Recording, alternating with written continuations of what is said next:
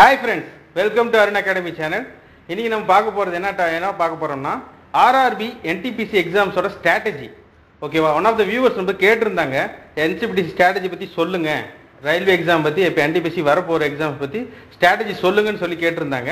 இன்றைக்கி அதோட ஸ்ட்ராட்டஜி தான் பார்க்க போகிறோம் அது மட்டும் இல்லாமல் ரீசெண்டாக இந்த எக்ஸாம் பற்றிய நியூஸ் வந்து வந்துட்டு இருக்குது சோஷியல் மீடியாஸில் ஸோ அதை பற்றி ஒரு கிளியரான எக்ஸ்பிளேஷன் வீடியோ ரெண்டில் கொடுக்க போகிறோம் அதையும் நல்லா கவனிங்க. ஸோ எவ்வளோ மார்க் கட் ஆஃப் எடுத்தால் பாஸ் பண்ண முடியும்? ஸோ மேக்ஸிமம் கட் ஆஃப் எவ்வளோ அப்படின்றது நம்ம சென்னை ஜோனுக்கான கட் ஆஃப் எப்படின்றதையும் பார்க்கலாம். ஸோ இனிஷியலாக நம்ம பார்க்க போகிறது எக்ஸாம் பாயிண்ட் ஆஃப் வியூவில் ஒவ்வொரு டாப்பிக்கும் என்னென்ன மார்க்ஸ் அலாகேஷன் இருக்குது ஸோ எவ்வளோ மார்க் எடுத்தால் வந்து ஒவ்வொரு டாப்பிக்லையும் நீங்கள் நிறைய ஸ்கோர் பண்ணலாம். எந்தெந்த ரீஜன் வந்து உங்களுக்கு ஹை ஸ்கோரிங் ரீஜன்ஸ் எந்தெந்த டாபிக்ஸில் அதெல்லாம் வந்து பார்க்க போகிறோம் ஓகேவா சரி வாங்க. இப்போ இனிஷியலாக இப்போ என்டிபிசி எடுத்துக்கிட்டிங்கன்னா இது மூணு செக்ஷனாக பிரிக்கலாம். குவான்டிடேட்டிவ் ஆப்டிடியூட் இது பார்த்தீங்கன்னா தேர்ட்டி மார்க்ஸ் கன்ஃபார்ம் இதுலேருந்து டாப்பிக்லேருந்து கேட்பாங்க. அதே மாதிரி லாஜிக்கல் ரீசனிங் இதுவும் பார்த்தீங்கன்னா தேர்ட்டி மார்க்ஸ் கேட்குறாங்க அதே மாதிரி ஜென்ரல் அவேர்னஸ் இதுக்கு தான் வந்து இப்போ வந்து ஹைலி இம்பார்ட்டன்ஸ் கொடுக்குறாங்க. ஃபார்ட்டி மார்க்ஸ் அப்படின்றது கேட்குறாங்க இது ஒரு வேஸ்ட் சப்ஜெக்ட் இதுலேருந்து வந்து நிறைய இருக்குது படிக்கிறதுக்கு. இந்த சப்ஜெக்டில் தான் வந்து நீங்கள் மார்க்ஸ் வந்து அதிகமாக ஸ்கோர் பண்ண ட்ரை பண்ணணும். ஏன்னா எல்லா காம்படிட்டேட்டர்ஸும் பார்த்தீங்கன்னா இந்த ரெண்டு ரீஜனில் மேக்ஸ் ரீசனிங் படிச்சவங்க ஸ்கோர் பண்ணிட முடியும். பட்டு ஜென்ரல் அவேர்னஸ் பொறுத்த வரைக்கும் நீங்கள் வந்து நிறைய விஷயங்களை கேதர் பண்ணும் நிறைய படிக்கணும். ஓகேவா? நிறைய ஸ்டாட்டிக் விஷயங்கள் நிறைய விஷய- இது படித்தாதான் உங்களால் இந்த ஃபார்ட்டி மார்க்ஸ் வந்து ரீச் பண்ணுறதுக்கு நீங்கள் நிறைய வந்து ஹார்ட் ஒர்க் பண்ணி ஆகணும். பட் இந்த இந்த தேர்ட்டி மார்க்ஸ் இந்த ரீசனிங்கில் தேர்ட்டி மார்க்ஸ்னு பார்த்தீங்கன்னா நீங்கள் கொஞ்ச நேரத்துலேயே வந்து நிறைய மார்க்ஸ் ஸ்கோர் பண்ணிடலாம். பட் இந்த ஃபார்ட்டி மார்க்ஸுக்கு வந்து நீங்கள் நிறைய அமௌண்ட் ஆஃப் டைம் வந்து ஸ்பெண்ட் பண்ணி ஆகும் சரி வாங்க. இப்போ வந்து குவான் செக்ஷனில் எவ்வளோ மார்க்ஸ் எடுக்கணும்? ஒவ்வொரு டாப்பிக்கும் எப்படி எப்படி கேட்குறாங்க எவ்வளோ மார்க்ஸ் எடுக்கணுன்றதை பார்த்துடலாம் இப்போ பார்த்தீங்கன்னா நம்பர் சிஸ்டம் இப்போ குவான்ஸ் டாப்பிக்கோட பேசிக் டாபிக் எதாவது நம்பர் சிஸ்டம் நிறைய பேர் இந்த டாபிக்கை அவாய்ட் பண்ணிடுறாங்க. ஏன்னா அது அது ரொம்ப ஈஸி தான். ஆனால் நிறைய பேருக்கு புரியாதனால அவாய்ட் பண்ணிடுறாங்க. நம்ம இது ரிலேட்டடாக வீடியோஸ் வந்து நம்ம கிளியராக கொடுத்துருக்கோம். ரெண்டு வீடியோஸ் போட்டிருக்கோம். ப்ரீவியஸ் இயர் என்டிபிசி கொஷின்ஸும் சால்வ் பண்ணியிருக்கோம். பேசிக் டாப்பிக்கும் நடத்தியிருக்கோம். ஸோ அந்த வீடியோஸை பார்த்தீங்கன்னா உங்களால் ஈஸியாக ஸ்கோர் பண்ண முடியும். ஓகேங்களா இப்போ இந்த டாப்பிக்லேருந்து பார்த்தீங்கன்னா மினிமம் த்ரீ மார்க்ஸ் கேட்குறாங்க number சிஸ்டம்லேருந்து two to three marks maximum கேட்குறாங்க த்ரீ மார்க்ஸ் கேட்குறாங்க கன்ஃபார்மாக வந்து இதில் நீங்கள் நல்லா ஸ்கோர் பண்ணலாம். ஈஸியான டாபிக் தான். இது வந்து கான்ஸோட பேசிக் தான் இந்த டாப்பிக்கு அப்புறம் HCF LCM one to two marks கேட்குறாங்க இதில் வந்து பேசிக்ஸ் ஹச்எஃப் ஒரு ஒரு த்ரீ நம்பர்ஸ் கொடுத்துட்டு அதுக்கு அச்சீவ் கண்டுபிடிங்க எல்சிஎம் கண்டுபிடிங்க கேட்குறாங்க இல்லை அந்த ப்ராடக்ட் ஆஃப் டூ நம்பர்ஸ் அப்படிமா அந்த ஃபார்மில் வச்சு product of two numbers is equal to product of HCF into LCM அப்படின்னு சொல்லிட்டு ஒரு கான்செப்ட் இருக்கு. ஸோ அந்த கான்செப்ட்லையும் செம்ம கேட்டுடுறாங்க. இல்லைன்னா வந்து அப்ளிகேஷன் ஓரியன்டாக இப்போ பில்ஸ் வந்து ரிங்கிங் ஆகுது. டிஃப்ரெண்ட் இன்டர்வல்ஸில் அப்படின்ற மாதிரி எல்சிஎம் மாதிரி கேட்டுடுறாங்க. இல்லை கிளாத் மெட்டீரியல் மாதிரி கொடுத்துட்டு எவ்வளோ கிளாத் வந்து தேவைப்படுது மினிமம் கிளாத் அப்படின்றது மேக்ஸிமம் இதெல்லாம் கொடுத்து ஹச்எஃப் எல்சிஎம்ல வந்து அப்ளிகேஷன் ஓரியேட்டடாகவும் கேட்டுடுறாங்க. ஸோ இந்த மாதிரி மாடலை நீங்கள் சம்பாத்திட்டீங்கன்னா இந்த டாப்பிக்கில் நீங்கள் ஃபுல்லாக கவர் பண்ணிடலாம். ஓகேவா அடுத்தது simplification சிம்பிளிஃபிகேஷனில் basic maths addition subtraction multiplication division இந்த போர்ட் மாஸ் கான்செப்ட் தான். போர்ட் மாஸ் உங்களுக்கு தெரியுதா இல்லையா? ஏன்னா போர்ட் மாஸ் தெரியாமல் இந்த மாதிரி சம் அப்ளை பண்ண முடியாது. ஏன்னா பார்க்க சம் ரொம்ப ஈஸியாக இருக்கும். உங்களுக்கு டிவிஷன் ஃபர்ஸ்ட் எடுக்கிறதா? இல்லை மல்டிபிகேஷன் ஃபர்ஸ்ட் எடுத்துக்கிறதா? இல்லை அடிஷன் ஃபர்ஸ்ட் எடுத்துக்கிறதா? இல்லை பிராக்கெட்டில் இருக்கிறத ஃபர்ஸ்ட் எடுக்கிறதுக்கா? அப்படின்னு சொல்லுவாங்க. அந்த போர்ட் மாஸ்னாவே bracket of division multiplication addition subtraction அந்த கான்செப்ட் தான். ஸோ அந்த கான்செப்ட் கிளியராக தெரிஞ்சால் இதில் நீங்கள் ரெண்டு மார்க் எடுத்துடலாம். பேசிக்காக தான் கேட்குறாங்க சம் ரொம்ப டஃப்பாலாம் கேட்கறது இல்லை ஸோ இதை நீங்கள் ப்ராக்டிஸ் பண்ணி பாருங்கள் அதே மாதிரி பர்சன்டேஜ் பர்சன்டேஜை பொறுத்த வரைக்கும் பேசிக் மாடல் தான் கேட்பாங்க. ஒன் மார்க் எதிர்ப்பு எக்ஸ்பெக்ட் பண்ணலாம். கன்ஃபார்மாக ஏன்னா இந்த ஒரு டாபிக் இருக்குது இதில் ஒரு ஒன் மார்க் எக்ஸ்பெக்ட் பண்ணலாம். பேசிக்காக வந்து இப்போ ஒரு பிஸ்னஸ் பண்ணுறாங்கன்னா அதில் வந்து எவ்வளோ பர்சன்டேஜ் லாபம் கிடைக்குது அந்த இதை வச்சு கேட்பாங்க. ஸோ பேசிக் மாடல் தான். ஒன் மார்க் இதில் ஈஸியாக எடுத்துடலாம். அதேமாதிரி ரேஷியோ ப்ரொப்போர்ஷன் ரேஷியோ ப்ரொப்போர்ஷன் வந்து ஏஜஸ்லையும் கேட்கலாம். ஏஜஸ் ரெண்டு பேரோட ஏஜஸோட ரேஷியோ கொடுத்துட்டு அது மாதிரியும் கேட்கலாம். இல்லை வந்து நார்மலாக வந்து இப்போ வந்து ஒரு அது ஒரு பிஸ்னஸ் ரிலேட்டடான கால்குலேஷன் சம்ஸ்லையும் கேட்கலாம். ரேஷியோ ரேஷியோ ப்ரொப்போர்ஷன்ஸை ஸோ வந்து இந்த மாதிரி கான்செப்டை இது நல்லா பார்த்து வச்சுக்கோங்க. அதே மாதிரி எஸ்ஐசிஐ ரொம்ப ரொம்ப ரொம்ப important topic minimum two to three marks வரும். எஸ்ஐலேருந்து ஒரு கொஷின் வரும். சிஐ காம்பவுண்ட் இன்ட்ரெஸ்ட்லேருந்து ஒரு கொஷின்ஸ் வரும். ஸோ ரெண்டு காம்பினேஷன்லேயும் ஒரு கொஷின்ஸ் வரும். டூ இயர் டிஃபரன்ஸில் வந்து ரெண்டு பேத்துக்குமான இன்ட்ரெஸ்ட் வந்து இவ்வளோ இவ்வளோ டிஃபரன்ஸ் வருது. ஸோ அப்போ எவ்வளோ வந்து எவ்வளோ பீரியடில் இன்வெஸ்ட் பண்ணாங்க எவ்வளோ இது பண்ணாங்கன்னு சொல்லிட்டு இதெல்லாம் ஷார்ட்கட் ஃபார்மில் இருக்குது நம்ம சொல்லியிருக்கோம் ஆல்ரெடி நம்மளோட வீடியோஸில் எஸ்ஐசிஐ பற்றி வந்து நம்ம ஐடியா கொடுத்துருப்போம். ஸோ அதையும் பார்த்துக்கோங்க. இது ரொம்ப இம்பார்ட்டண்டான டாபிக் எப்பயுமே பார்த்தீங்கன்னா இந்த மாதிரி குவான்ட் செக்ஷன் எடுத்துட்டீங்கன்னா தேர்ட்டி மார்க்ஸ் இருக்குன்னா எந்த செக்ஷனில் வந்து அதிக மார்க் ஸ்கோர் பண்ண முடியும்? அந்த செக்ஷனுக்கு இம்பார்ட்டன்ஸ் கொடுத்து படிங்க. ஏன்னா அந்த செக்ஷன் தான் டஃப்பாகவும் இருக்கும். டஃப்பான செக்ஷனுக்கு தான் ப்ரியாரிட்டி அதிகமாக கொடுப்பாங்க மார்க்ஸும் அதிகமாக கொடுக்குறாங்க. ஸோ அதை பொறுத்த வரைக்கும் இந்த ஒன் மார்க் டூ மார்க் செக்ஷனில் வந்து ஈஸியாக இருக்கும் பார்க்க. ஆனால் நீங்கள் நிறைய சம் சால்வ் பண்ணுறதுல யூஸ் இல்லை. ஏன்னா வந்து ஈஸியான கொஷின் ஒரு தான் ஒரு மார்க் தான் வரப்போகுது. But three marks minimum three marks இல்லை டூ டு த்ரீ மார்க்ஸ் இருக்கிற டாபிக்ஸ் வந்து ரொம்ப இம்பார்ட்டன்ட் கொடுத்து படிங்க. ஏன்னா அதில் தான் நீங்கள் ஹை ஸ்கோர் பண்ண முடியும். உங்கள் காம்படிட்டரோட நீங்கள் ஒரு ஒரு லெவல் எக்ஸ்ட்ராவாக இருக்கணும்னா நீங்கள் இந்த மாதிரி டஃப்பான டாபிக்ஸை ரிஸ்க் எடுத்து படிக்கணும். ஜாமெண்ட்ரி ட்ரிக்னாமெண்ட்ரி இது போகிற டாபிக்லாம் நிறைய பேர் அவாய்ட் பண்ணிடுறீங்க. ஆனால் அந்த ஒவ்வொரு மார்க்லேயும் தான் உங்களோட பாஸ் ஆகிறவங்க உங்களுக்கு அவங்களுக்கு இருக்கிற டிஃப்ரென்ஸ் அதுதான். ஸோ சின்ன ஒரு இன்ச்சு தான். ஒரு சின்ன ஒரு ஒரு மார்க் டிஃப்ரென்ஸ் தான். இதுக்கு அவங்க நிறைய கஷ்டப்பட்டு ஒர்க் அவுட் பண்ணியிருப்பாங்க. ஸோ அந்த மாதிரி ஒர்க் அவுட் பண்ணணும். அதே அந்த இதில் பார்த்தீங்கன்னா ப்ராஃபிட் ஆர் லாஸ் ரொம்ப ரொம்ப இம்பார்ட்டன்ட் இதில் ப்ராஃபிட் வச்சு சம் கேட்பாங்க லாஸ் வச்சு சம் கேட்பாங்க. அப்புறம் ஷார்ட்கட்டில் சம் சால்வ் பண்ணுற மாதிரி இருக்கும். டிஸ்கவுண்ட் ரெண்டு பேத்துக்கு வந்து அல்டர்னேட்டிவாக கொடுத்துக்கிட்டே இருப்பாங்க. ஸோ அந்த மாதிரி மாடலுக்கு எப்படி சம் ஆன்சர் பண்ணுறதுன்றது கேட்பாங்க. இல்லை வந்து டிசானஸ் டீலர் டிசானஸ்ட் டீலர்ஸ் வந்து நம்மக்கிட்ட ஒன் கேஜின்னு சொல்லிட்டு வெயிட் வந்து கம்மியான வெயிட்டை போட்டு நம்மளை இது பண்ணுவாங்க. ஸோ அந்த மாதிரி கான்செப்ட்லையும் ப்ராஃபிட் ஆர் லாஸ் கேட்கலாம். அந்த இதில் வந்து த்ரீ டு ஃபோர் கொஷின்ஸ் வந்து நீங்கள் எதிர்பார்க்கலாம். அதே மாதிரி டைம் அண்ட் ஒர்க் ரொம்ப ரொம்ப ரொம்ப இம்பார்ட்டன்ட் கொஷின்ஸ் ரயில்வே எக்ஸாமில் குவாண்ட் செக்ஷனில் ரொம்ப ரொம்ப important question time and work avoid பண்ணவே முடியாது. இந்த டாபிக் கண்டிப்பாக பார்த்துருங்க. இல்லைன்னா உங்களுக்கு ஓவரால் மார்க்கில் ரொம்ப அடிபடும்.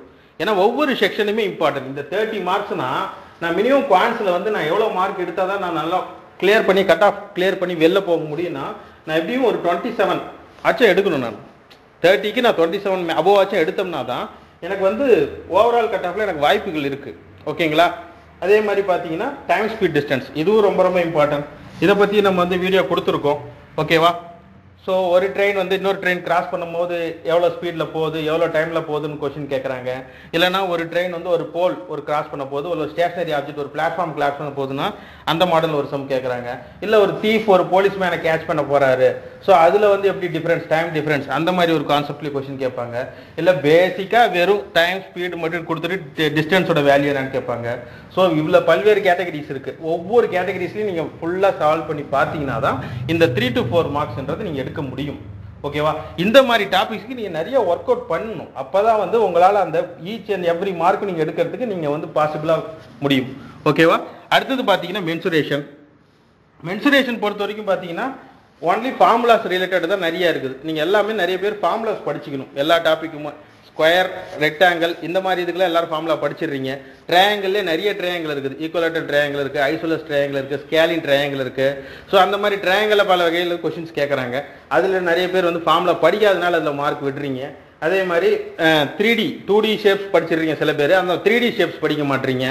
அந்த மாதிரி த்ரீ டி ஷேப்ஸுக்கு இருக்கிற ஃபார்முலாஸ்லாம் நிறைய படிச்சுக்கணும். வேல்யூம் ஆலோ சிலிண்டர் அந்த மாதிரி செமி சர்க்கிள் இந்த மாதிரி ஃபார்முலாஸ்லாம் நிறைய படிச்சுக்கணும். மெயினாக வந்து இந்த லேட்டரல் சர்ஃபேஸ் ஏரியா அதாவது கருவிடு சர்ஃபேஸ் ஏரியாஸ் அது ரிலேட்டடான ஃபார்முலாஸ்லாம் நிறைய கேட்குறாங்க ஸோ ஃபார்முலாஸை நீங்கள் லைன் பை லைன் நல்லா டீப்பாக படிச்சுக்கிட்டு சம்மு நிறைய சால்வ் பண்ணி பார்த்தீங்கன்னா அட்டன் பண்ணிடலாம். இதுலேயும் ஒரு த்ரீ மார்க்ஸ் வந்து பாசிபிள் அதே மாதிரி ட்ரிக்னாமெட்ரி ட்ரிக்னாமெட்ரியை பொறுத்த வரைக்கும் டீட்டாஸ் வச்சே சம்ஸ் நிறைய கேட்குறாங்க sine theta cos theta values வச்சு சம்ஸ் கேட்குறாங்க அதுவும் நீங்கள் சால்வ் பண்ணலாம். அதே மாதிரி அந்த லேடர் சம் அப்ளிகேஷன் ரிலேட்டடாக பார்த்தீங்கன்னா ட்ரிக்னாமெட்ரியில் லேடர் சம் கேட்டுடுறாங்க.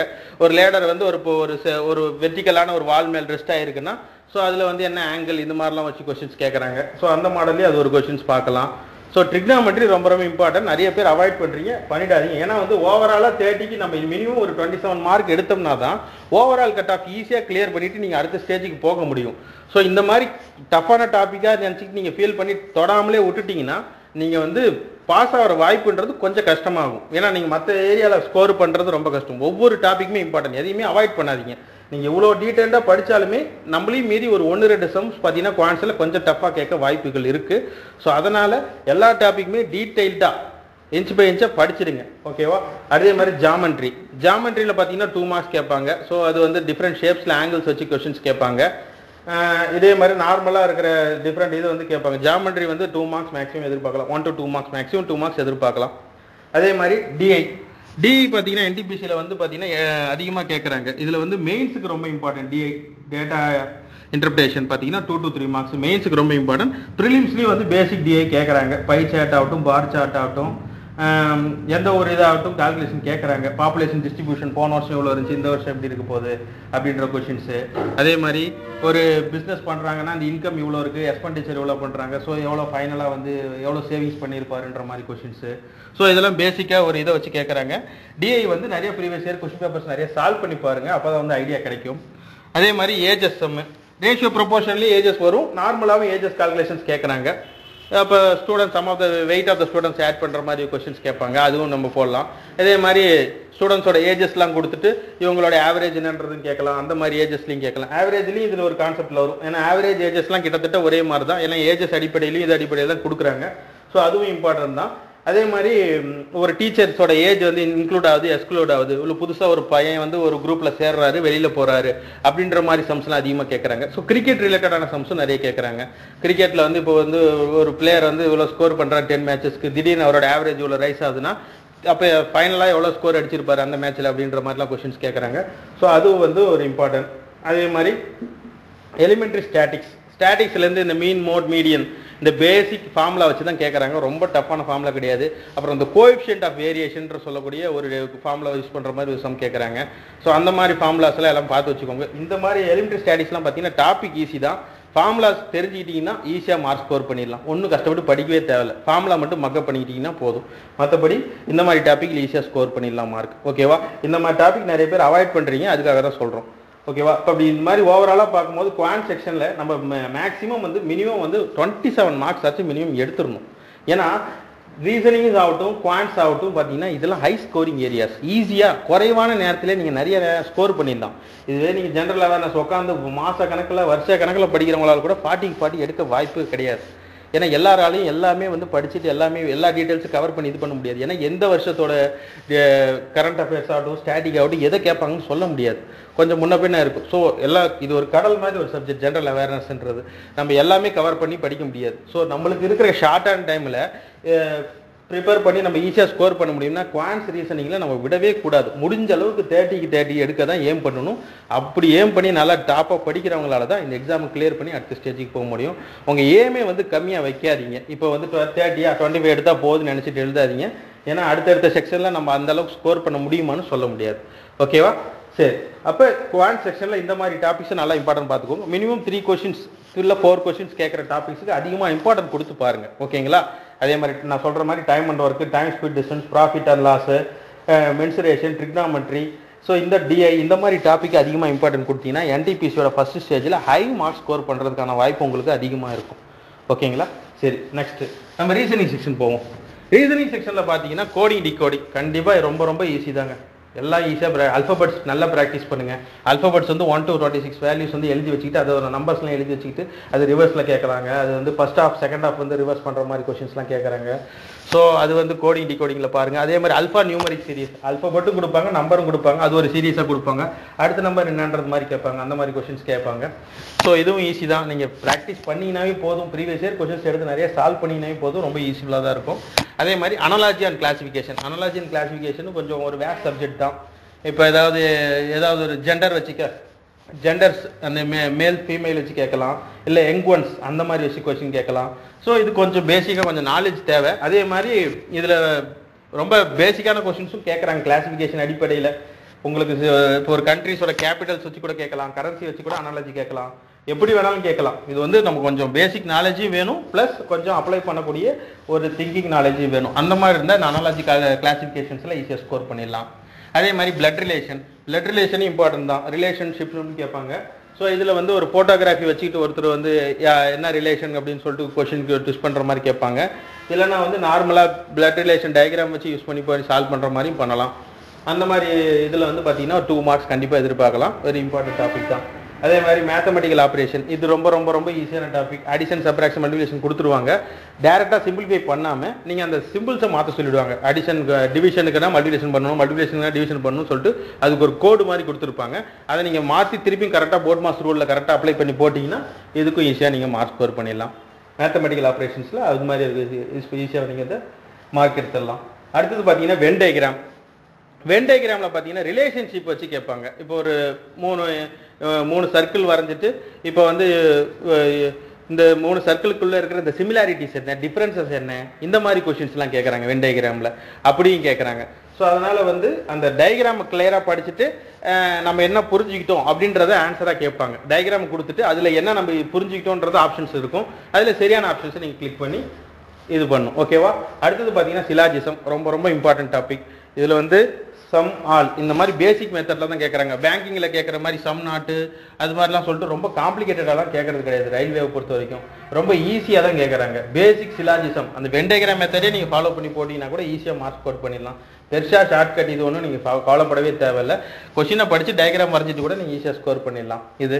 அதே மாதிரி நான் வெர்பல் ரீசனிங்கில் பார்த்தீங்கன்னா இந்த paper cutting mirror image water image இது வந்து ரொம்ப ரொம்ப ரொம்ப இம்பார்ட்டன்ட் செக்ஷனு ஈஸியாக வந்து கொஞ்ச நேரத்திலே இப்போ நீங்கள் எக்ஸாமுக்கே நீங்கள் நாளைக்கு எக்ஸாம் எழுத போகிறீங்கன்னா இன்றைக்கி நீங்கள் எடுத்து பார்த்தீங்கன்னா கூட இந்த மாதிரி டாபிக்ஸை வந்து ஈஸியாக புரிஞ்சிடும் ஈஸியாக ஸ்கோர் பண்ணிடலாம். இந்த மாதிரி டாபிக் டைம் வேஸ்ட் விட்றாதீங்க ஏன்னா வந்து குறைஞ்ச நேரத்தில் ஈஸியாக மார்க் எடுத்துடலாம். ஜஸ்ட் நம்ம அந்த அந்த டயக்ராமை அனலைஸ் பண்ணுற விதம் தான் முக்கியம். அது யார் வேணாலும் பண்ணலாம். இது வந்து கஷ்டப்பட்டு படிக்கணும்னு அவசியமே கிடையாது. அதனால இந்த பேப்பர் கட்டிங் ஃபோல்டிங்னா பேப்பர் வந்து லெஃப்ட் சைடில் லெஃப்ட் கார்னர் மடிச்சிருப்பாங்க லைட் கார்னர் மடிச்சிருப்பாங்க. அடுத்தது என்ன இமேஜ் வரும்ன்றது கேட்பாங்க. ஸோ ஒன் அண்ட் ஒன்லி பார்த்தீங்கன்னா நம்ம மைண்ட் திங்கிங் கொஷின்ஸ் தான். இது ரொம்ப பேசிக் தான். ஸோ இதுலேருந்து மார்க்ஸ் நம்ம ஒன் மார்க்ஸ் எதிர்பார்க்கலாம். அதே மாதிரி மிரர் இமேஜ் ரொம்ப ரொம்ப இம்பார்ட்டன்ட் மிரர் இமேஜ் வந்து எப்படி இருக்குதுன்னு கேட்பாங்க. இது லெஃப்ட் ரைட் வந்து சேஞ்ச் ஆகும். வாட்டர் இமேஜ் பார்த்தீங்கன்னா டாப் பாட்டம் சேஞ்ச் ஆகும். ஸோ இந்த காம்பினேஷன்ஸ்லேருந்து கொஷின்ஸ் கண்டிப்பாக எதிர்பார்க்கலாம். இதெல்லாம் வந்து ரொம்ப இம்பார்ட்டன்ட் ஈஸியாக ஸ்கோர் பண்ணக்கூடிய செக்டார்ஸ் குறைவான நேரத்திலே. நீங்கள் நிறைய உட்காந்து ஹார்ட் ஒர்க் பண்ணுறதோட ரீசனிங் மாதிரி செக்ஷன்லாம் கொஞ்ச நேரத்திலே நீங்கள் நிறைய டாபிக் கவர் பண்ணிடலாம். ஒரு நாளைக்கு நீங்கள் எடுத்தீங்கன்னாவே இன்னைக்கு நீங்கள் படிச்சீங்கன்னா கூட இந்த மாதிரி டாபிக் ஒரு அஞ்சு இதில் வந்து ஒரு பாதி டாபிக் வந்து இன்னைக்கே நீங்கள் படிச்சு முடிச்சிடலாம். ஏன்னா அந்த அளவுக்கு ஒன்றும் பெரிய வேற சப்ஜெக்டே கிடையாது. எல்லாராலையும் ஈஸியாக ஸ்கோர் பண்ணக்கூடிய செக்ஷன் வந்து இந்த ரீசனிங் செக்ஷன் தான். அதை வந்து நல்லா பார்த்து வச்சுக்கோங்க. இதில் முடிஞ்ச அளவுக்கு தேர்ட்டிக்கு தேர்ட்டியே எடுக்க பாருங்க. இதில் வந்து மேக்ஸிமம் இந்த இந்த டாபிக் தான். அதாவது statement statement arguments assumptions and conclusion courses of action இந்த டாப்பிக்கில் தான் ஒரு சின்ன ட்விஸ்ட் இருக்கும். ஏன்னா வந்து எக்ஸாக்டாக எல்லாராலையும் புரிஞ்சுட்டு ஸ்கோர் பண்ணுறது கொஞ்சம் கஷ்டம். ஸோ இந்த டாபிக் கொஞ்சம் பார்த்து அட்டன் பண்ணுங்க. நிறைய தெரியாத பட்சத்தில் ஓவர் அட்டன் பண்ணிடாதீங்க. இது வந்து ரொம்ப இம்பார்ட்டன்ட் டாபிக் இதுதான் வந்து கொஞ்சம் மார்க்கை வந்து நமக்கு கொஞ்சம் குறைக்கிற வைக்கிற மாதிரி ஒரு டாபிக் ஆனால் அதனால் இந்த டாபிக் கொஞ்சம் பார்த்து பண்ணுங்கள் எதுவாக இருந்தாலும் இதில் மினிமம் ஒரு ஃபோர் டு ஃபைவ் கொஷின்ஸ் கேட்குறாங்க அதுவும் நல்லா பார்த்து வச்சுக்கோங்க. மற்ற எல்லா செக்ஷனும் ரொம்ப ரொம்ப ஈஸி ரீசனிங்கை பொறுத்த வரைக்கும் இந்த டாபிக் மட்டும் கஷ்டம் சொல்லலை. கிளியராக புரிஞ்சுக்கிட்டீங்கன்னா அடிச்சிடலாம். மார்க் ஈஸியாக ஸ்கோர் பண்ணிடலாம். ஒன்றும் பெரிய விஷயம் கிடையாது. ஆனால் அவசரப்பட்டு போடும்போது தான் தப்பாக போகுது நிறைய பேர்த்துக்கு கரெக்டாக ஸ்டேட்மெண்ட்டோட மீனிங் கரெக்டாக புரிஞ்சிக்காமல் இவங்களாம் ஒன்று அசியூம் பண்ணிக்கிறாங்க. சில இடத்துல சொல்லியிருப்பாங்க கரெக்டாக ஸ்டேட்மெண்ட் என்ன கொடுத்தாங்களோ அதை ஹண்ட்ரட் பர்சன்டேஜ் எடுத்துக்கிட்டு தான் நீங்கள் ஒரு கன்க்ளூஷனுக்கு வரணும்னு. இவங்க வந்து அவங்களோட பெர்ஸ்பெக்டிவில் அதை ஆன்சர் பண்ணிடுறாங்க. அதனால் தப்பாக போயிடுது. இதுவும் ப்ராக்டிஸ் பண்ணிங்கன்னா பாசிபிள் தான். Five out of five marks நீங்கள் கிளியராக எடுக்க முடியும். பட் நிறைய பேர் அவசரப்படுறதுனால மார்க் இதாகிடுது ஸோ ஸ்டேட்மெண்ட் ஆர்குமெண்ட் அந்த conclusion assumption courses of action cause and effect இது எல்லாமே பார்த்தீங்கன்னா ஓவராலாக ஒரு five marks four to five marks கண்டிப்பாக எதிர்பார்க்கலாம். இதுதான் இந்த டாபிக் வந்து ரீசனிங் பொறுத்த வரைக்கும் இந்த டாபிக் வந்து மார்க் வந்து எல்லாருக்கும் குறையிற டாபிக் நல்லா பாஸ் பண்ணி கிளியர் பண்றவங்க ஸ்ட்ராட்டஜி என்ன பண்ணுவாங்கன்னா இந்த டாப்பிக்கில் தான் அதிகமான இம்பார்ட்டன்ஸ் கொடுத்து படிச்சு அவங்க ஒரு மார்க் டூ மார்க்ஸ் உங்களோட ஹிஞ்ச் பண்ண பார்ப்பாங்க. ஸோ அதில் நீங்கள் இம்பார்ட்டன்ஸ் கொடுத்து நிறைய பார்த்தீங்கன்னா ரீசனிங்லேயும் ஃபுல் மார்க்ஸ் எடுக்க வாய்ப்புகள் அதிகமாகவே இருக்கு. அதே மாதிரி நம்பர் பசலும் கேட்கலாம். நம்பர்ஸ் ஒரு ட்ர ஒரு பாக்ஸ் மாதிரி கொடுத்துட்டு இந்த இந்த பாக்ஸில் இந்த இடத்துல என்ன நம்பர் வரலாம்னு கேட்கலாம். ஸோ அதுக்கு ஏதாவது ஸ்ட்ராட்டஜி இருக்கும். ஒரு நம்பர் வந்து ஆட் பண்ணி போட்டிருப்பாங்க இல்லை ஸ்கொயர்ஸோட வேல்யூ ஆட் பண்ணி போட்டிருப்பாங்க. அந்த வேல்யூ வந்து மைனஸ் பண்ணி இல்லைனா ஏதாவது பண்ணி போட்டிருப்பாங்க. அந்த கான்செப்ட் புரிஞ்சால் நீங்கள் இது போட்டுடலாம். அதே மாதிரி ரேங்கிங்கே ஒருத்தரோட இன்னொருத்தர் வந்து ஹையாக இருக்காரு இல்லை டாலராக இருக்காரு ஷார்ட்டராக இருக்காருன்னு கேட்கலாம். இல்லை இந்த மாதிரி ஒரு க்யூவில் நிற்கிறாங்க இவங்க வந்து முன்னாடி இருக்காங்க பின்னாடி இருக்காங்க இந்த மாதிரியும் கேட்கலாம். ஸோ இந்த விதத்தில் பாருங்கள் டைரக்ஷன்ஸ் வந்து பார்த்தீங்கன்னா என்டிபிசியில் வந்து அவ்வளோவா இது பண்ணுறதில்ல குரூப் டி அளவுக்கு. பட் இருந்தாலும் வந்து அதுவும் ஒரு இம்பார்ட்டன்ட் டாபிக் தான். வரத்துக்கு வாய்ப்பு இருக்குது இதையும் பார்த்து வச்சுக்கோங்க. ஓகேங்களா? என்னை பொறுத்த வரைக்கும் reasoning logical reasoning thirty marks பார்த்தீங்கன்னா முடிஞ்ச அளவுக்கு நீங்கள் வந்து அபவுட் டுவெண்ட்டி எயிட் எடுக்க பாருங்கள் அப்போ தான் வந்து ஒரு சேஃப் ஜோனில் உங்கள் கட் ஆஃப் இருக்கும். இந்தந்த செக்ஷனுக்கெல்லாம் பார்த்தீங்கன்னா சேஃப் ஜோன் பார்த்தீங்கன்னா தேர்ட்டிக்கு மேக்ஸிமம் எடுக்கிறது தேர்ட்டி எடுக்கிறது ரொம்ப ரொம்ப பெஸ்ட்டு மினிமம் மார்க் இது twenty seven to twenty eight இந்த ரேஞ்ச் எடுத்துட்டிங்கன்னா நீங்கள் வந்து ஓரளவுக்கு சேஃப் ஜோன் ஆகிட்டீங்கன்னு அர்த்தம். ஏன்னா வந்து ஜென்ரல் அவேர்னஸ் தான் பார்த்தீங்கன்னா நிறைய இருக்கிறதுனால அதில் ஸ்கோர் பண்ணுற வாய்ப்புகள் பார்த்தீங்கன்னா ரொம்ப கஷ்டம். இதில் இந்த அளவுக்கு ஜென்ரல் அவேர்னஸில் எல்லாராலையும் ஸ்கோர் பண்ண முடியுமான்னு சொல்ல முடியாது. ஸோ அதனால தான் இந்த செக்ஷனுக்கு ஹைலி ப்ரியாரிட்டி கொடுத்து முடிஞ்ச அளவுக்கு டாப் மார்க் எடுக்க பார்த்துருங்க. ஓகேவா இப்போ நெக்ஸ்ட் நம்ம பார்க்குறது ஜென்ரல் அவேர்னஸ் தான். ஜென்ரல் அவேர்னஸ் பொறுத்த வரைக்கும் பார்த்தீங்கன்னா இத்தனை செக்ஷனாக பிரிச்சிடலாம். அதாவது current event ஸ்ட்ராட்டஜிகே history polity geography general science economics so இதை வந்து நீங்கள் பிரிச்சிட்டிங்கன்னா ஓவரால் இது ப்ராடர் செக்ஷன்ஸ் ப்ராடர் செக்ஷனாக இப்படி பிரிக்கலாம். ஸோ இதை பொறுத்த வரைக்கும் பார்த்தீங்கன்னா கரண்ட் ஈவெண்ட்ஸில் பார்த்தீங்கன்னா லாஸ்ட் ஒன் இயராக நடந்த ஈவெண்ட்ஸ் எல்லாமே ஃபுல்லாக பார்த்து வச்சுக்கோங்க. முக்கியமான ஈவெண்ட்ஸ் எல்லாம் பார்த்து வச்சுக்கோங்க. இதில் வந்து எயிட் டு டென் மார்க்ஸ் கண்டிப்பாக கேட்கலாம். இதில் வந்து இந்த கவர்மெண்ட்டோட இந்த flagship programmes important flagship programmes இப்போ வந்து நம்மளுடைய நரேந்திர மோடி கவர்மெண்ட் வந்து என்னென்ன ப்ரோக்ராம்ஸ் இப்போ வந்து புதுசாக இம்ப்ளிமெண்ட் பண்ணியிருக்காங்க. ஸோ அந்த ப்ரோக்ராம்ஸ் லிஸ்ட்டெல்லாம் நீங்கள் கிளியராக படிச்சிக்கலாம். அதே மாதிரி ரீசெண்டாக நடந்த national and important news international news important news வந்து நீங்கள் பார்த்துக்கலாம். அது மாதிரி ஃபேமஸ் பர்சனாலிட்டிஸ் இன் நியூஸ் அது மாதிரி இந்தியாவில் யார் யார் ஃபேமஸ் பர்சனாலிட்டிஸ் என்ன சாதனைகள் புரிஞ்சாங்கன்ற விஷயங்கள்லாம் பார்த்துக்கலாம். அதே மாதிரி நேஷனல் ரிலேட்டடாக இன்டர்நேஷ்னல் ரிலேட்டடாக போட்ட எம்ஓயூஸ் முக்கியமான ப்ராஜெக்ட்ஸ் ஏதாவது ரிவர் வேலி ப்ராஜெக்ட்ஸ் ஏதாவது கமிஷன் பண்ணது அப்படின்ற இந்த ஒன் இயராக நடந்த இம்பார்ட்டன்ட் ஈவெண்ட்ஸ் எல்லாமே இதில் வந்து இந்த செக்டாரில் அடங்கிடும்.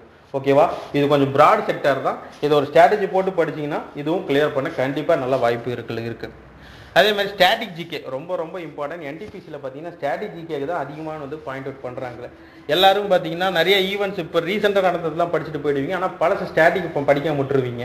ஸ்டாட்டிக்கில் தான் வந்து அதிகமாக இம்பார்ட்டன்ஸ் கொடுக்குறாங்க இப்போ என்டிபிசியை பொறுத்த வரைக்கும்.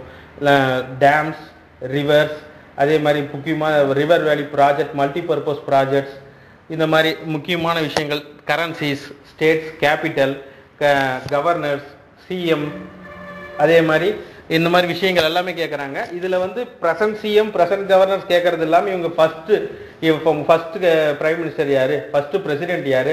ஃபஸ்ட்டு சீஃப் ஜஸ்டிஸ் யார்?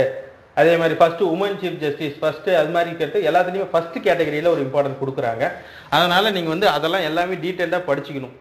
ஃபஸ்ட்டு சுப்ரீம் கோர்ட் ஜட்ஜி யார்? ஃபஸ்ட்டு இவங்க யாருன்னு சொல்லிட்டு இதெல்லாம் வந்து ரொம்ப டீட்டெயில்டாக கேட்குறாங்க இதில் வந்து நீங்கள் ரொம்ப ஓவராலாக பெரிய செக்ஷனை கவர் பண்ண வேண்டியதாக இருக்குது.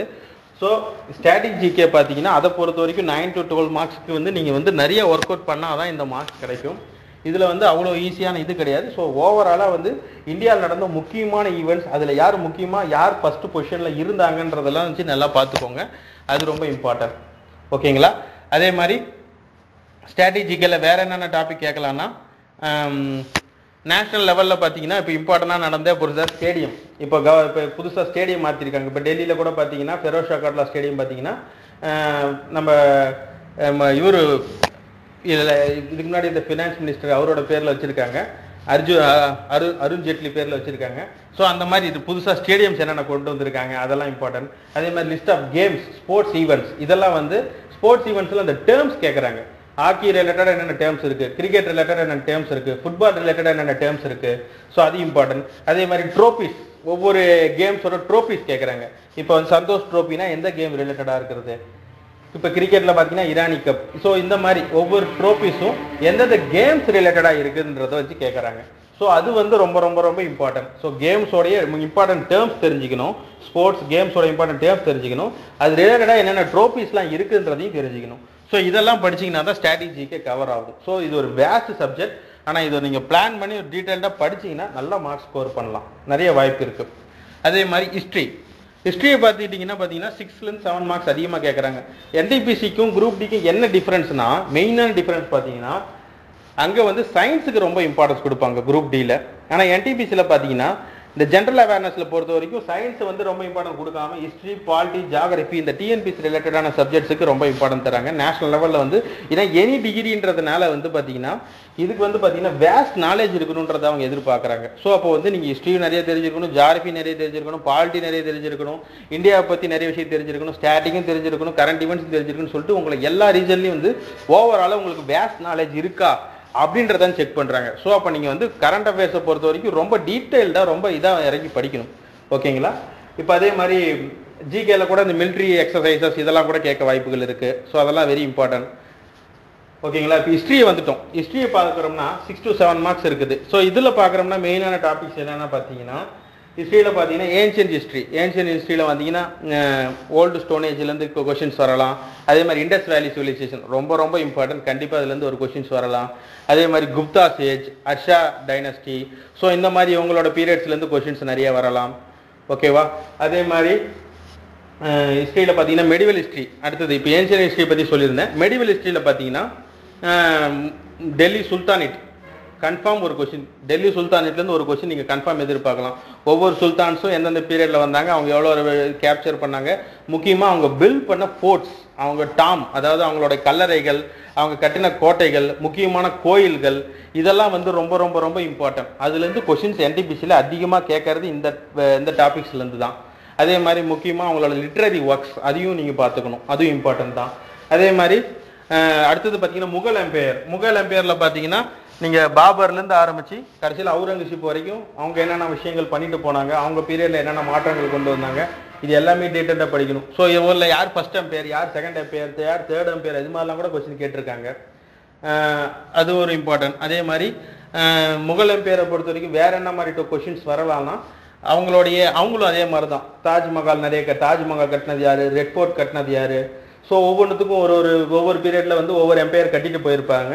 ஸோ அந்த மாதிரி இம்பார்ட்டன்ட் மோனுமெண்ட்ஸ் அண்ட் டெம்பிள்ஸ் அந்த ஆர்கிடெக்சர் இதுலேருந்து ஒரு கொஷின்ஸ் கண்டிப்பாக வருது. ஸோ ஹிஸ்ட்ரி ரிலேட்டடாக இந்த மாதிரி இதுக்கு நீங்கள் அதிகமாக இம்பார்ட்டன்ஸ் கொடுத்து படிக்கணும். அதே மாதிரி இம்பார்ட்டன்ட் வார்ஸ் நடந்துச்சு. இந்த மைசூர் வார் மராத்தா வார் அப்போ அந்த டைமில் போட்ட ட்ரீட்டிஸ் ஒப்பந்தம் அது ரொம்ப ரொம்ப இம்பார்ட்டன்ட் அது எந்த வருஷம் போட்டாங்க? எந்த யாருக்கு ரெண்டு எந்த ரெண்டு பேர்த்துக்கு இடையில இந்த ட்ரீட்டிஸ் போட்டாங்க? அந்த அதுவும் இம்பார்ட்டன்ட் ஸோ அது மாதிரி ஹிஸ்ட்ரியில் வந்து இந்த எக்ஸ்பர்ட்ஸில் நீங்கள் படிச்சீங்கன்னா நிறைய ஸ்கோர் பண்ணலாம். அதே மாதிரி மாடர்ன் ஹிஸ்ட்ரியில் பார்த்தீங்கன்னா ஐஎன்சி இந்தியன் நேஷனல் காங்கிரஸ் பற்றி படிக்கணும். அப்புறம் இந்தியன் ஃப்ரீடம் ஸ்ட்ரகிள் ரொம்ப ரொம்ப இம்பார்ட்டன்ட் அதே மாதிரி ரொம்ப ரொம்ப இம்பார்ட்டன்ட் பார்த்தீங்கன்னா இந்த ரிபலியன்ஸ் அதிகமாக கேட்டுறாங்க நிறைய பேர் அது வந்து படிக்கிறதே கிடையாது. இந்தியன் நேஷனல் இந்தியன் நேஷனல் காங்கிரஸை பற்றி படிக்கிறீங்க எயிட்டீன் ஃபிஃப்டி செவன் ரெவால்ட்டை பற்றி படிக்கிறீங்க ஃப்ரீடம் ஸ்ட்ரகிளை பற்றி படிக்கிறீங்க காந்திஜியோட பாட்டு இதெல்லாமே படிக்கிறீங்க. எல்லாரும் ஓகே தான். இது டிஎன்பிசியில் வருது ஓகே தான். ஆனால் அந்த ரிபலியன்ஸ் ரொம்ப இம்பார்ட்டன்ட் அது வந்து என்டிபிசியில் இம்பார்ட்டன்ஸாக கேட்குறாங்க நிறைய பேர் அது படிக்கிறதுல இதில் வந்து முக்கியம் பார்த்தீங்கன்னா இந்த இதுக்கு இந்த இந்த எயிட்டீன் ஃபிஃப்டி செவன் ரெவால்ட்டுக்கு முன்னாடியே பார்த்தீங்கன்னா நிறைய ட்ரைப்ஸ் ரிபலியன் நடந்துச்சு. லேண்ட் ஃபார்ம்ஸ்னால நிறைய ரிபலியன் நடந்துச்சு. இந்த முண்டா ரிபலியன் அதுக்கப்புறம் சந்தால் ரிபலியன் இந்த மாதிரி நிறைய ரிபலியன்ஸ் நடந்துச்சு. ஸோ இந்த மாதிரி ரிபலியன்ஸ்லாம் ரொம்ப டீட்டெயிலாக படிக்கணும். அதே மாதிரி முக்கியமாக இந்த ச- இந்த ஆர்மரி ரைட்ஸ் இந்த முக்கியமாக வந்து இந்த அந்த தீ- இந்த இந்த ஃப்ரீடம் ஸ்ட்ரகிளில் டைமில் வந்து நிறையா வந்து டெரரிஸ்ட் மூமெண்ட்ஸ்லாம் நிறையா இருந்துச்சுன்னு சொல்லிட்டு நிறைய இது பண்ணாங்க. கான்ஸ்பிரசி கேஸ் இந்த அலிகார் கான்ஸ்பிரசி கேஸ் அதே மாதிரி இந்த பகத்சிங் பற்றி இந்த மாதிரி இவன் சில நிறைய ஃப்ரீடம் ஃபைட்டர்ஸ் பற்றி தெரியாமல் இருக்குது. அவங்கள மாதிரி கொஷின்ஸ் நிறைய கேட்டுடுறாங்க ஓகேவா ஸோ அந்த மாதிரி ஈவெண்ட்ஸில் ஆக்டிவிட்டீஸில் ஈடுபட்ட அவங்கள பற்றி நிறைய கொஷின்ஸ் ஹிஸ்ட்ரியில் கேட்க வாய்ப்பு இருக்குது அதை நல்லா டீட்டெயிலாக படித்து வச்சுக்கோங்க. அதே மாதிரி பாலிட்டி பாலிட்டியும் பார்த்தீங்கன்னா ஒரு வேஸ்ட் செக்ஷன் தான். ஆனால் இதில் ஸ்கோர் பண்ணுறது ஒரு இம்பார்ட்டன்ட் சிக்ஸ் டு செவன் மார்க்ஸ்ன்றது இம்பார்ட்டன்ட் ஏன்னா ஃபார்ட்டி மார்க்ஸில் நமக்கு ஒரு செவன் மார்க் சிக்ஸ் மார்க் ஒரு டாப்பிக்கில் கிடைக்குதுன்னா அந்த டாபிக் நிறைய நேரம் ஸ்பெண்ட் பண்ணுறது தப்பே கிடையாது. ஒரு மார்க் ஒரு டாப்பிக்கில் கிடைக்கிறதுக்கு போய் நீங்கள் நிறைய நேரம் ஸ்பெண்ட் பண்ணுறவங்களோட ஒரு சிக்ஸ் மார்க் செவன் மார்க்குக்கு ஒருத்தவங்க டீட்டெயில்டாக உட்காந்து படிக்கிறாங்கன்னா அவங்களுக்கு வெற்றி வாய்ப்பு அதிகமாக இருக்கும். நீங்கள் வந்து மார்க்ஸ் அலாகேஷன் அடிப்படையில் டீட்டெயில்டாக உட்காந்து படிங்க. ஏன்னா கம்மியான மார்க்ஸுக்கு நிறைய நேரம் ஸ்பெண்ட் பண்ணுறதோட ஹை மார்க்ஸ் எதுவோ அது டஃப்பாக இருந்தாலும் அதில் இறங்கி நீங்கள் ரிஸ்க் எடுத்து படிச்சிங்கன்னா உங்களுக்கு கன்ஃபார்மாக ஒரு மார்க்ஸ் நிறைய கிடைக்கும். ஓகேவா அப்போ பாலிட்டியை பொறுத்த வரைக்கும் பார்த்தீங்கன்னா banking of constitution making of constitution ரொம்ப ரொம்ப இம்பார்ட்டன்ட் அதில் யார் யாரெல்லாம் இம்பார்ட்டண்டான பில்லர்ஸாக இருந்தாங்க? எம்என் ராயிலேருந்து முதற்கொண்டு அம்பேத்கர் ஜேபி கிருப்லானி அதே மாதிரி ஜவஹர்லால் நேரு சர்தார் வல்லபாய் பட்டேல் இவங்க என்னென்ன கமிட்டிஸ்க்குலாம் சேர்மனாக இருந்தாங்க? அதெல்லாம் ரொம்ப இம்பார்ட்டன்ட் அதை நல்லா பார்த்து வச்சுக்கோங்க. அதே மாதிரி பாரோயிங் இந்தியன் கான்ஸ்டியூஷன் எங்கேருந்து பாரோ பண்ணப்பட்டுச்சு? அயர்லாந்துலேருந்து என்ன பாரோ பண்ணாங்க? ஃப்ரான்ஸ்லேருந்து என்ன பாரோ பண்ணாங்க? பிரிட்டிஷ்லேருந்து நம்ம என்ன என்னென்ன விஷயங்கள்லாம் வந்து பாரோ பண்ணாங்க? அமெரிக்கா கான்ஸ்டியூஷன்லேருந்து நம்ம என்ன எடுத்துக்கிட்டோம்? ஸோ இதெல்லாம் வந்து அதே மாதிரி ஒவ்வொரு முக்கியமான நபர்கள் வந்து நம்ம கான்ஸ்டியூஷன் பற்றி ஏதாவது ஒரு சொல்லியிருப்பாங்க டேர்ம் சொல்லியிருப்பாங்க. இந்த கான்ஸ்டியூஷன் இப்படி இருக்கு பிரியாம்பிள் இப்படின்னு சொல்லி சில பேர் சொல்லியிருப்பாங்க. Naval future of Indian constitution சொல்லியிருப்பாங்க. ஸோ இந்த மாதிரி ஒவ்வொரு கான்ஸ்டியூஷன் பற்றி ஒவ்வொரு தலைவர்கள் சொன்ன கூற்றுகள் அந்த இம்பார்ட்டன்ட் இது கூற்றுகள் வந்து கேட்பாங்க. அது ஒரு ரொம்ப இம்பார்ட்டன்ட் அதுவும் பார்த்து வச்சுக்கோங்க. அதே மாதிரி பாலிட்டியோட ஆர்டிகல்ஸ் அமெண்ட்மெண்ட்ஸ் பார்த்தீங்கன்னா வந்து பார்த்தீங்கன்னா பிரசிடென்ட் ரிலேட்டடான ஆர்டிகல்ஸ் அமெண்ட்மெண்ட்ஸ் ரொம்ப இம்பார்ட்டன்ட் பிரைம் மினிஸ்டர் அதோட அவரோட ஆர்டிகல்ஸ் அமெண்ட்மெண்ட்ஸ் ரொம்ப இம்பார்ட்டன்ட் அதே மாதிரி கவுன்சில் ஆஃப் மினிஸ்டர்ஸ் ரொம்ப இம்பார்ட்டன்ட் இதெல்லாம் வந்து ரொம்ப இம்பார்ட்டண்டாக நீங்கள் பார்த்துக்கணும். அதே மாதிரி இதில் வேற என்ன செக்ஷன்ஸ் கேட்கலான்னு பார்த்தீங்கன்னா இம்பார்ட்டன்ட் அமெண்ட்மெண்ட்ஸ் இம்பார்ட்டண்டான அமெண்ட்மெண்ட்ஸ் கேட்கலாம். அமெண்ட்மெண்ட்ஸ் மினி கான்ஸ்டியூஷன் சொல்லக்கூடுவாங்க. அந்த ஃபார்ட்டி செகண்ட் அமெண்ட்மெண்ட் அது மாதிரி இம்பார்ட்டன்ட் அமெண்ட்ஸ் பார்த்துக்கலாம். எந்த அமெண்ட்மெண்ட்ஸ்லாம் பார்த்தீங்கன்னா புதுசாக ஒரு ரூலே மாற்றுச்சு புதுசாக ஒரு மாற்றம் கொண்டு வந்துச்சு.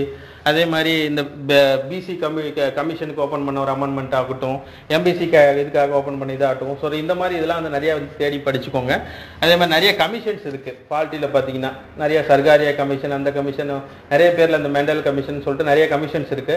ஸோ அந்த கமிஷன்ஸ் எல்லாம் எந்தெந்த நோக்கத்துக்காக கொண்டு வந்தாங்கன்றதையும் பார்த்து வச்சுக்கோங்க. அதுவும் இம்பார்ட்டன்ட் ஸோ பார்ட்டியில் இந்த மாதிரி செக்ஷன்ஸ்லாம் நீங்கள் வந்து நிறைய ஸ்கோர் பண்ணி ஆகணும் நிறைய பார்த்தாக்கும் அதே மாதிரி ஜாகிரபி ஜாகிரபின்னு எடுத்துக்கிட்டிங்கன்னா பார்த்தீங்கன்னா நீங்கள் ஃபஸ்ட்டு இப்போ ஃபோர் மோஸ்ட் ஜாரிபி நீங்கள் படிக்கிறீங்கன்னா என்ன படிக்கணும்னா மேக்ஸிமம் மேப் யூஸ் பண்ணி படிங்க. இந்தியன் மேப் இல்லை வேர்ல்டு மேப் யூஸ் பண்ணி படிங்க. அப்போ தான் வந்து உங்களால் நிறைய ஸ்கோர் பண்ண முடியும். ஈஸியாகவும் படிக்க முடியும். புக்கு எடுத்துகிட்டு ஃபுல்லாக படிக்கிறது வந்து யூஸ் கிடையாது. மேப் எடுத்துக்கிட்டு இப்போ முக்கியமான பாசஸ் இந்தியாவில் என்னென்ன இருக்குது? மவுண்டெயின் ரேஞ்சஸ் என்னென்ன இருக்குது? அது எந்தெந்த ஸ்டேட்டையும் கவர் பண்ணுது? அது மாதிரி பாருங்கள் அதே மாதிரி பாப்புலேஷன் எந்த ஸ்டேட் வந்து அதிகமாக இருக்குது பாப்புலேஷன் எந்த ஸ்டேட் கம்மியாக இருக்குது ஸோ இதெல்லாம் எக்கனாமிக்ஸ்லேயும் வரும். ஜாகிரபி எக்கனாமிக்ஸ் கொஞ்சம் இன்டர் ரிலேட்டட் தான். ஓகேவா? இது லேண்ட் ஃபார்ம்ஸ் வரும். அதில் வந்து ஸ்டாட்டிஸ்டிக்காக வந்து கால்குலேட் பண்ணி போட்டிருப்பாங்க. அவ்வளோதான் ஓகேவா? அதே மாதிரி ஹையஸ்ட் பீக் எது? வெஸ்டர்ன் கேட்ஸில் ஹையஸ்ட் பீக் எது? ஈஸ்டர்ன் கேட்ஸில் ஹையஸ்ட் பீக் எது?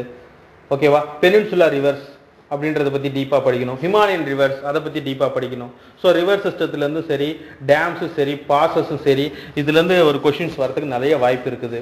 முக்கியமான மவுண்டைன் ரேஞ்சஸ் இந்தியாவில் இருக்கிற mountain ranges Karakoram Ladakh Zanskar Leh so இந்த மாதிரி மவுண்டைன் ரேஞ்சஸை நீங்கள் டீட்டெயிலாக படிக்கணும். அதுவும் ரொம்ப ரொம்ப இம்பார்ட்டன்ட் அதுலேருந்து கண்டிப்பாக ஒரு கொஷின்ஸ் வரும். ஓகேவா அப்போ ரீசெண்டாக இப்போ வந்து கொண்டு வந்த முக்கியமான ஏதாவது ஒரு ஜாரபியில் வந்து லேண்ட் ஃபார்ம்ஸில் ஏதாவது புதுசாக ஏதாவது கொண்டு வந்த இது அதாவது டிரான்ஸ்போர்ட் சிஸ்டம் டிரான்ஸ்போர்ட் சிஸ்டம் ரொம்ப ரொம்ப இம்பார்ட்டன்ட் செக்ஷன் இல்லை ஜாரபியில் எடுத்துக்கிட்டிங்கன்னா இதில் ரயில்வே டிரான்ஸ்போர்ட்டில் ரீசெண்டாக கொண்டு வந்த ஃபாஸ்டஸ்ட் ட்ரெயின்ஸு ஃபாஸ்டஸ்ட் எக்ஸ்பிரஸ்ஸு அதே மாதிரி லாங்கஸ்ட் ரோடு ஏதாவது போட்டது ஏதாவது படிக்கணும். அதே மாதிரி ஏதாவது பிரிட்ஜ் ஏதாவது கல் இது பண்ணியிருந்தாங்கன்னா அது பண்ணியிருக்கணும். அதே மாதிரி ஏர் டிரான்ஸ்போர்ட் ஆகட்டும் வாட்டர் டிரான்ஸ்போர்ட் ஆகட்டும் ரயில் டிரான்ஸ்போர்ட் ரொம்ப ரொம்ப இம்பார்ட்டன்ட் ரயில் டிரான்ஸ்போர்ட்டும் ரோட் டிரான்ஸ்போர்ட் டிரான்ஸ்போர்ட் சிஸ்டமில் ரொம்ப இம்பார்ட்டண்டாக படிச்சுக்கோங்க. ஏன்னா இதுதான் வந்து மேக்ஸிமம் நம்பர் ஆஃப் பீப்புள்ஸ் வந்து யூஸ் பண்ணுறது பார்த்தீங்கன்னா இந்த டிரான்ஸ்போர்ட் மீடியம் தான் யூஸ் பண்ணுறாங்க அது வேர்ல்டு லெவலில் இந்தியாவோட நெட்வொர்க் எத்தனாவது நெட்வொர்க் ரயில் நெட்ஒர்க்கில் இது வந்து ப்ரீவியஸ் இயர் என்டிபிசியில் கேட்ட கொஷின்ஸ் தான். ஸோ இந்த மாதிரி ரயில் நெட்வொர்க் ரோட் நெட்வொர்க்கில் இந்தியாவோட eh, பொசிஷன் என்ன? வேர்ல்டு லெவலில் அதே மாதிரி லாங்கஸ்ட் ரயில் ரூட் என்ன? ரோட் ரூட் எது? அப்படின்றதெல்லாம் படித்து வச்சுக்கோங்க. இப்போ என்கச் கூட மாறிடுச்சு. என்கச் ஃபார்ட்டி ஃபோர்ன்றது அது வந்து ஹையஸ்ட் இப்போ என்ஹெச் இருந்துச்சு அதாவது ஸ்ரீநகர் டு கன்னியாகுமரி. அது வந்து இப்போ லாங்கஸ்ட் என்ஹெச்சாக மாறிடுச்சு. இதுக்கு முன்னாடி வந்து வாரணாசிக்கு டு கன்னியாகுமரி தான் இருந்துச்சு என்ஹெச்சில் ஹையஸ்ட் என்ஹெச் டிஸ்டன்ஸில் பார்த்தீங்கன்னா ஸோ அந்த மாதிரி அப்டேட்ஸ்லாம் ரெகுலராக பார்த்து வச்சுக்கோங்க. அது ரொம்ப இம்பார்ட்டன்ட் அதுக்கப்புறம் பார்த்தீங்கன்னா ஜாகிரபியில் லேண்ட் ஃபார்ம்ஸ் அது ரொம்ப இம்பார்ட்டன்ஸ் என்ன டிஃப்ரெண்டான லேண்ட் ஃபார்ம்ஸ் கிராஸ் லேண்ட்ஸ் அந்த மாதிரி டாபிக்ஸ்லாம் ரொம்ப இம்பார்ட்டண்ட்டாக பார்த்து வச்சுக்கோங்க. அது ரொம்ப இம்பார்ட்டன்ட் ஈஸியாக வந்து மார்க்ஸ் ஸ்கோர் பண்ணலாம். ஓகேவா அதே மாதிரி ஜென்ரல் சயின்ஸ் ஜென்ரல் சயின்ஸ் பார்த்தீங்கன்னா ஓவராலே ஒரு ஃபைவ் கொஷின்ஸ் கேட்குறாங்க. டூ தௌசண்ட் சிக்ஸ்டீன் கொஷின்ஸ் நாங்கள் என்டிபிசி டூ தௌசண்ட் சிக்ஸ்டீன் கொஷினை வந்து கொஷினை பார்த்துட்டு அதோட அடிப்படையில் தான் அந்த ஸ்ட்ராட்டஜியை நாங்கள் போட்டிருக்கோம். ஏன்னா கடைசியாக எடுத்த கொஷினோட இதை வந்து நம்ம அதை பார்த்துட்டு தான் அதை ஒரு அடிப்படையாக வச்சு தான் இந்த இந்த இந்த டோட்டலாக ஓவராலாக ஸ்ட்ராட்டஜி போட்டது காரணமே வந்து ப்ரீவியஸ் இயர் டூ தௌசண்ட் சிக்ஸ்டீனில் நடந்த என்டிபிசி கொஷின்ஸ் வச்சு தான் நம்ம இந்த ஸ்ட்ராட்டஜியை போட்டிருக்கோம்.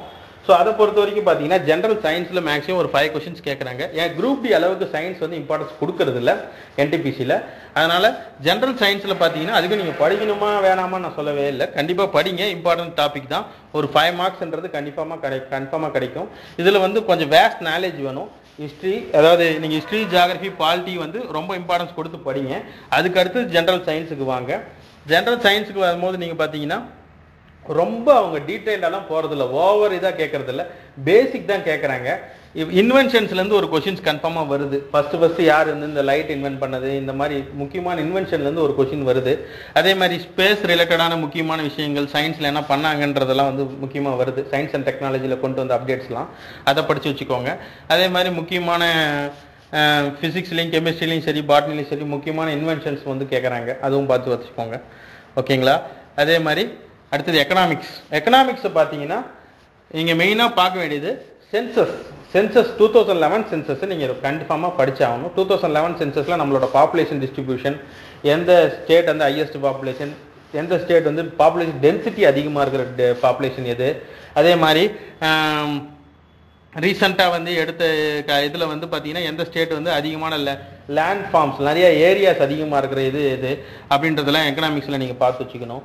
எக்கனாமிக்ஸை பொறுத்த வரைக்கும் மேக்ஸிமம் இந்த சென்சஸ் ரிலேட்டடான டாபிக்ஸ் தான் அதிகமாக வருது. அதுக்கப்புறம் இது ரிலேட்டடாக வேற என்ன டாபிக்ஸ் பார்க்கலாம்னா இந்த ஜிடிபி கால்குலேஷன் பார்க்கலாம். அது கரண்ட் அஃபேர்ஸ் ரிலேட்டடாகவும் சரி எக்கனாமிக்ஸ் ரிலேட்டடாகவும் சரி ரொம்ப ரொம்ப இம்பார்ட்டன்ட் ஜிடிபி கால்குலேஷன்ஸ் பார்த்தீங்கன்னா வேர்ல்டு பேங்க் ப்ரிடிஷன்ஸ் அதே மாதிரி மற்ற இன்டர்நேஷனல் ஆர்கனைசேஷன் யூஎன் ஆர்கனைசேஷன் என்ன இந்தியாவோட ஜிடிபி ப்ரொடியூஷன் பண்ணியிருக்காங்க ஸோ அதெல்லாம் வந்து நீ இம்பார்ட்டன்ட் அது வந்து நீங்கள் ஸ்டாட்டிக்லையும் படிக்கணும் கரண்ட் அஃபேர்ஸ்லையும் படிக்கணும் எக்கனாமிக்ஸ் ரிலேட்டாகவும் அந்த மாதிரி டாபிக்ஸ்லாம் நீங்கள் எல்லா ரீஜன்லையும் பார்த்துட்டு போகிற டாப்பிக்காக தான் இருக்கும். அதே மாதிரி பாவர்ட்டி பாவர்ட்டி பற்றி நீங்கள் படிக்கணும் அன்எம்ப்ளாய்மெண்ட் பெரிய ஒரு ப்ராப்ளமாக இருக்குது அதெல்லாம் நீங்கள் வந்து அந்த டாபிக்ஸ்லாம் ரொம்ப இம்பார்ட்டன்ஸ் கொடுத்து படிக்கணும். அதே மாதிரி ஃபைவ் இயர் பிளான் நிறைய பேர் அது வந்து ரொம்ப இம்பார்ட்டன்ட் செக்ஷன் டிஎன்பிசிலையும் படிச்சிருப்பீங்க. அந்த செக்ஷனையும் நல்லா மறக்காமல் படிங்க. அந்த ஃபைவ் இயர் பிளானில் எத்தனை எத்தனை ஃபைவ் இயர் பிளான் வந்திருக்கு? அதில் ஃபர்ஸ்ட் இயர் ஃபைவ் இயர் பிளானுக்கு பேர் என்ன? செகண்ட் ஃபைவ் இயர் பிளான் என்னன்றது அதோட பீரியட் என்ன? எந்தெந்த பீரியடில் கேப் வந்துச்சு? ஸோ இதெல்லாம் வந்து இம்ப்ளிமெண்ட் பண்ணது எல்லாம் டீட்டெயிலாக படிக்கணும். ஓகேங்களா ஸோ ஓவராலாக பார்த்தீங்கன்னா இந்த நூறு மார்க்குக்கு இந்தந்த சப்ஜெக்ட்ஸுக்கு தான் வந்து நீங்கள் வந்து இவ்வளோ மார்க்ஸ் வந்து எக்ஸ்பெக்ட் பண்ணலான்றது நாங்கள் டூ தௌசண்ட் சிக்ஸ்டீனோட அடிப்படையில் நாங்கள் வந்து எடுத்து வச்சது. ஓகேவா இந்த வருஷம் இதே லெவலில் தான் வருமான்னு ஹண்ட்ரட் பர்சன்டேஜ் சொல்ல முடியாது.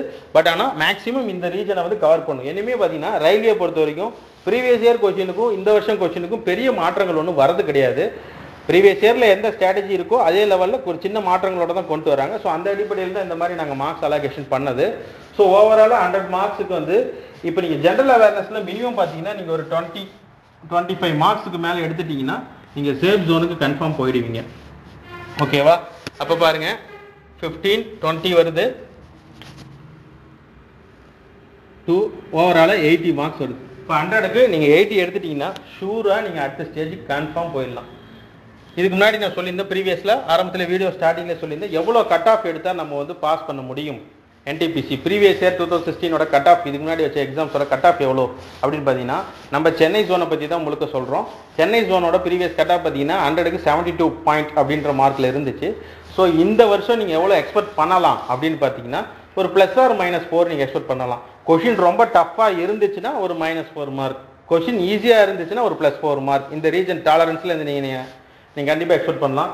என்னை கேட்டால் இந்த வருஷம் ஒரு 75 ஃபைவ் எடுக்கிறது ரொம்ப ரொம்ப சேஃப் மார்க் யாராக இருந்தாலுமே. 75 ஃபைவ் டு செவன்ட்டி சிக்ஸ் அந்த ரேஞ்சுக்கு மேலே நீங்கள் எடுத்தீங்கன்னா நீங்கள் சேஃப் என்ன இவ்வளோ மார்க் இருக்குதுன்னு சொல்கிறீங்கன்னா எக்ஸாமோட லெவல் பார்த்தீங்கன்னா ஓவரால் இந்தியாவில் நிறைய பேர் காம்படிட்டிவ் பண்ணுறாங்க ஏன்னா இது ரெண்டு கோடி மக்களுக்கு மேலே வந்து அப்ளை பண்ணியிருக்காங்க. டோட்டல் வேகன்சியே ஒரு thirty five thousand two two hundred seventy seven தான் இருக்குது ஸோ அந்த பட்சத்தில் நீங்கள் நிறைய ஹார்ட் ஒர்க் பண்ணி மேலே வந்தீங்கன்னா தான் வந்து அந்த கட் ஆஃப் ரீச் பண்ண முடியும். It's not easy but it is not possible சொல்ல முடியாது. இட்ஸ் பாசிபிள் ஓகேங்களா? ஸோ அதனால் நீங்கள் அதை பற்றி வருத்தப்பட தேவையில்லை. இந்த ஓவராலாக ஹண்ட்ரட் மார்க்ஸுக்கு எயிட்டி மார்க்ஸ் எடுத்தால் ஷூராக நீங்கள் அடுத்த ஸ்டேஜுக்கு படிக்க ஆரம்பிச்சிடலாம். வெயிட் பண்ணும் ரிசல்ட்டுக்குன்னு அவசரப்படவே தேவையே கிடையாது. ஏன்னா இதெல்லாம் ஷூர் ஷார்ட்டில் கிளியராக போக வேண்டிய கட் ஆஃப் எயிட்டி மார்க்ஸ் எடுத்தும் கிடைக்காம போகிறது அந்த அளவுக்குலாம் கன்ஃபார்ம் இருக்காது. ஏன்னா கொஸ்டினோட லெவலும் கொஞ்சம் டஃப்பாக இருந்தாலுமே எயிட்டி மார்க்ஸ் எடுக்கிறது பாசிபிள் இந்த ஸ்ட்ராட்டஜியை கரெக்டாக ஃபாலோ பண்ணி நீங்கள் இது பண்ணீங்கன்னா உங்களுடைய ஓவரால் கட் ஆஃப் கண்டிப்பாக வந்து இன்க்ரீஸ் ஆகும். ஓகேங்களா? எயிட்டி மார்க்ஸ் இது பண்ணும். ஸோ ஒரு எக்ஸாம் பற்றி ஒரு அனௌன்ஸ்மெண்ட் சொல்கிறதா இனிஷியலாக வீடியோ ஆரம்பத்துலேயே சொல்லியிருந்தோம். எக்ஸாம் பற்றி அனௌன்ஸ்மெண்ட் என்னன்னு பார்த்தீங்கன்னா இப்போ ரீசெண்டாக வந்துருந்துச்சு. மார்ச்சில் எக்ஸாம் நடக்க போகிறதாகவும் ஆல் டிக்கெட் மார்ச் எண்டில் வர சொல்லியிருந்தாங்க. ஸோ அது ஒரு ஃபேக் நியூஸ் தான். ரயில்வே வந்து அது ரிலேட்டடாக வந்து எந்த நியூஸும் விடலை. நிறைய பேர் அதை நம்பிட்டு ரொம்ப இதாக இருப்பீங்க. பட் எக்ஸாம் என்னமோ தெரில ஆனால் இந்த டைம் வரப்போகிறதா தான் சொல்லிட்டு இருக்காங்க ஜனவரி பிப்ரவரிக்கு மேலே தான் வரப்போகிறதா சொல்லிட்டு இருக்காங்க பட் இன்னும் வந்து அஃபிஷியலான ஒரு நோட்டிஃபிகேஷன் இன்னும் கிளியராக வரலை. ஸோ யாரும் அதை நினச்சி இது பண்ண வேண்டாம். சரி என்னடா எக்ஸாம் இவ்வளோ தள்ளி போகுது இதுக்கப்புறம் என்ன பண்ணுறது நம்ம திருப்பி எப்போ படிக்கிறது? வேணாம்னு சொல்லிட்டு மனசு ஒடிஞ்சு விட்டுறாதீங்க. இந்த டைம் தான் உங்களுக்கு பொண்ணான நேரம். நல்லா பயன்படுத்திக்கோங்க. அதுதான் பெஸ்ட் எவ்வளோக்கு எவ்வளோ டிலே ஆகுதோ அவ்வளோக்கு எவ்வளோ நம்ம நான் சொன்ன டாபிக்ஸில் உங்களுக்கு நிறைய டாபிக் படிக்காமல் கூட நீங்கள் இருந்திருக்கலாம். ஸோ அவ்வளோக்கு அவ்வளோ உங்களுக்கு வந்து டைம் கிடைக்குது. அதை யூஸ் பண்ணிக்கோங்க. நேரம் தான் எல்லாருக்குமே கிடைக்கிற ஒரே பொக்கிஷம். வேறு எதுவுமே கிடையாது. ஸோ அதை கரெக்டாக பயன்படுத்திக்கோங்க. கன்ஃபார்மாக வந்து இந்த ஸ்ட்ராட்டஜி ஃபாலோ பண்ணிங்கன்னா மார்க்ஸ் நீங்கள் ஸ்கோர் பண்ணலாம். இது ரிலேட்டடாக இந்த ஒவ்வொரு டாபிக் ரிலேட்டடாக நான் மேக்ஸிமம் வந்து நிறைய வீடியோஸ் கொடுத்துருக்கோம் எங்கள் வீடியோஸ் வந்து நீங்கள் குவான்ட் செக்ஷன் ஆகட்டும் ரீசனிங் செக்ஷன் ஆகட்டும் கொடுத்துருக்கோம். அதில் தாராளமாக பாருங்கள் ஒவ்வொரு செக்ஷனும் இந்த மாதிரி டாபிக் வைஸில் மார்க்ஸ் வந்து கொடுத்து நாங்கள் சால்வ் பண்ணி வச்சுருக்கோம். எக்ஸாம் பாயிண்ட் ஆஃப் வியூலையும் சரி டாபிக் ஒரு இன்ட்ரடக்ஷனும் சரி கொடுத்து நம்ம சால்வ் பண்ணி வச்சுருக்கோம். அதையும் கிளியராக பாருங்கள் ஓகேவா கன்ஃபார்மாக இந்த வீடியோ உங்களுக்கு பிடிச்சிருக்குன்னு நினைக்கிறேன். இந்த வீடியோ உங்களுக்கு பிடிச்சிருந்தா லைக் பண்ணுங்கள் உங்கள் ஃப்ரெண்ட்ஸுகளுக்கும் இந்த வீடியோ பயனுள்ளதாக இருந்துச்சுன்னா இந்த ஸ்ட்ராட்டஜியை ஷேர் பண்ணுங்கள் மறக்காமல் நம்ம சேனலுக்கு சப்ஸ்கிரைப் பண்ணுங்கள் அதுக்கு வேணும்னா நம்ம பெல் பெல் ஐக்கானை கிளிக் பண்ணுங்கள் நம்ம டெய்லி அப்டேட்ஸ் உங்களுக்கு வந்துகிட்டு இருக்கும். தேங்க்ஸ் ஃபார் வாட்சிங் அருண் அகாடமி சேனல்